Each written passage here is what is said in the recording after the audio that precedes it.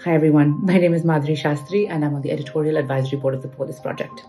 I'm very honored to announce that the Polis Project is now launching a culture section to complement and add to the political writing that we have been committed to publishing over the past many years. The culture section is similarly rooted in a belief that culture is political and that all art and entertainment are the most powerful tools to influence and shape political thought. We have seen how the mainstream media controls these narratives, telling us what to believe, who to believe, what to listen to, and who to listen to.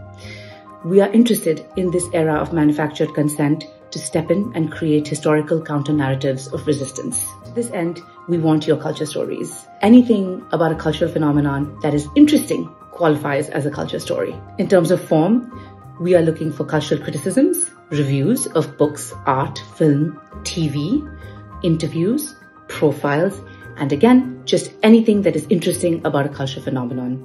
We have a pitch guide that is up on our website, www.thepolisproject.com, as well as on our Instagram and our Twitter and anywhere that you get your socials.